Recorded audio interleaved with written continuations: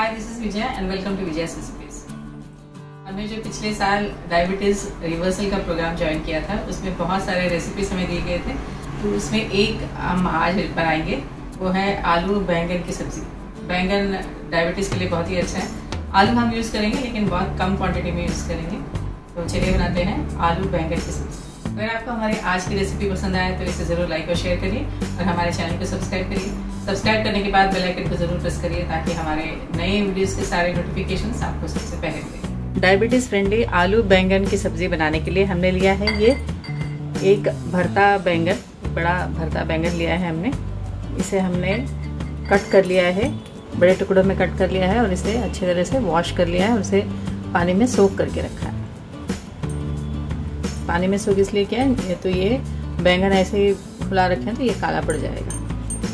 और हमने लिया है ये दो आलू जिसे हमने पील कर लिया है और बड़े टुकड़ों में कट करके इसे भी हमने पानी में रख लिया है। हमने गैस ऑन कर लिया है और पैन में दो कप पानी डाला है उसे गर्म करने के लिए रखा है। अब हम इसमें डालेंगे ये डाइस्ड आलू।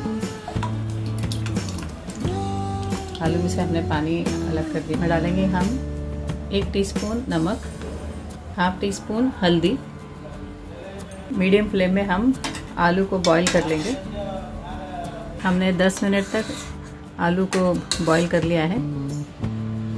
और ये पोक से चेक कर लिया है और ये आलू अच्छी तरह से बॉईल हो गया है। गैस ऑफ़ कर देते हैं। इस बॉइल्ड आलू को एक बॉल में निकाल लेंगे। कढ़ाई में डालेंगे दो टेबल स्पून ऑयल तेल गरम हो गया।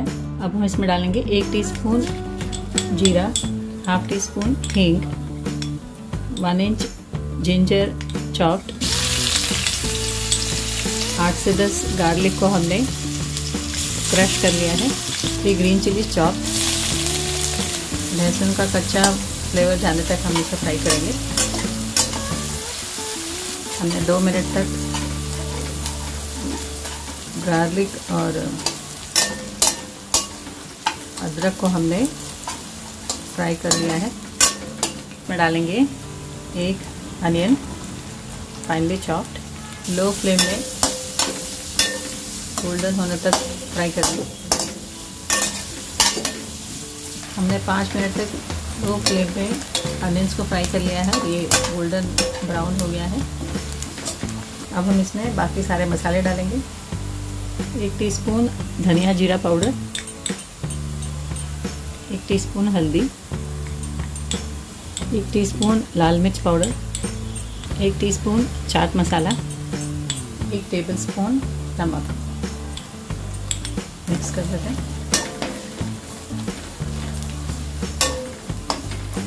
मसालों के साथ हम दो मिनट फ्राई कर लेंगे।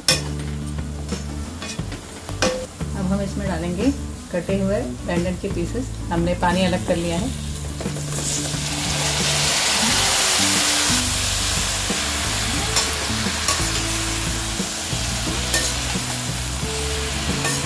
बैंगन को हम आठ से दस मिनट तक इसे कुक होने तक हम इसे फ्राई करेंगे। हमने पाँच मिनट तक मीडियम फ्लेम में बैंगन को फ्राई कर लिया है और ये हाफ़ कुक हो गया है। अब हम इसमें डालेंगे दो टमाटर चॉप टमाटर सॉफ्ट होने तक हम इसे कुक करेंगे।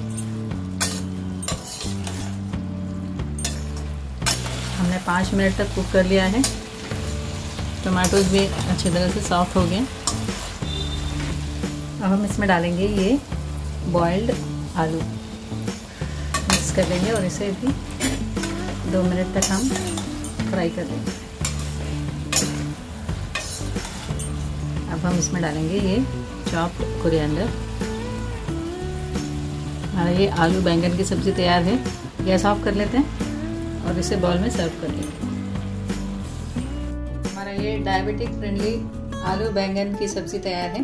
हमने इसे सर्व किया है मल्टीग्रेन रोटी दाल सैलड और बटर मिल्क के साथ।